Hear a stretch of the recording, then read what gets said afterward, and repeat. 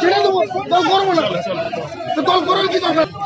তারা প্রশাসন দালালি করে দিচ্ছে আর কেউ সব নেতা চুপ করে বসে আছে। কর্মীরা মরবে নাকি? দরকার নেই ঝামেলা আছে আশা করি হ্যাঁ। হ্যাঁ আছে? পরিকল্পিতভাবে মহিলাকে উত্তপ্ত করার একটা পরিকল্পনা অস্ত্র আমদানি করে বোম বন্দুকের রাজনীতিকে সামনে রেখে এরা এলাকার শান্তিকে বিকৃত করার চেষ্টা করছে। আমরা দীর্ঘক্ষণ পথ অবরোধ চালিয়েছি, আমাদের প্রতিবাদ জানিয়েছি, প্রশাসনের কাছে আমাদের আবেদন থাকবে, যারা দোষী এর সাথে যুক্ত তাদের অবিলম্বে গ্রেপ্তার করতে হবে এবং দৃষ্টান্তমূলক শাস্তি দিতে হবে।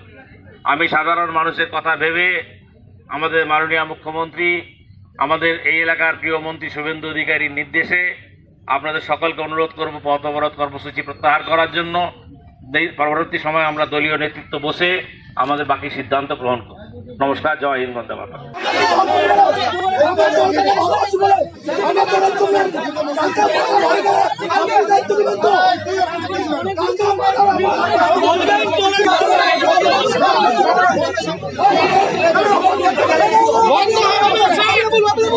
নাটক